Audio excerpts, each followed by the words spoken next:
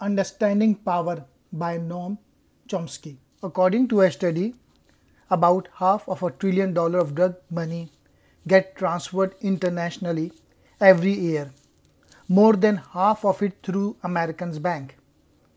How many bankers are in jail? None. But if a black kid get caught with a joint, he goes to jail.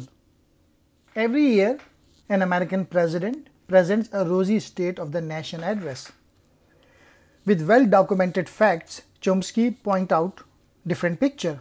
Society is crashing and in the 11th hour it is up to the people to wake up and take collective action before it's too late. Regarding ideas, he said, we should not be looking for heroes. We should be looking for good ideas. Regarding education, he said, education is a system of imposed ignorance. How it is we have so much information but know so little.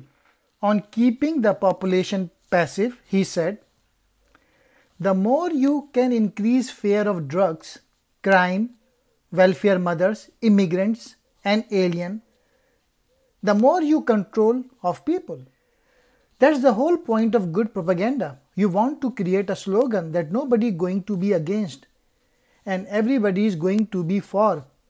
Nobody knows what it means because it, not, it does not mean anything.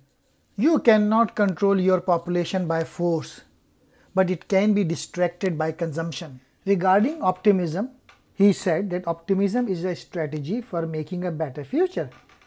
Because unless you believe that the future can be better, it's unlikely you will step up and take responsibility for making it so. If you assume that there is no hope, you guarantee that there will be no hope. If you assume that there is an instinct for freedom, there are opportunities to change things, there is a chance you may contribute to making a better world. The choice is yours. There are two problems for our species survival nuclear war and environmental catastrophe, and we are moving toward them knowingly. Regarding politics and elections, he said it is important to bear in mind that political campaigns are designed by the same people who sell toothpaste and cars. Regarding power, he said concentration of executive power, unless it is very temporary and for specific circumstances, let's say fighting World War II, it's an assault on democracy.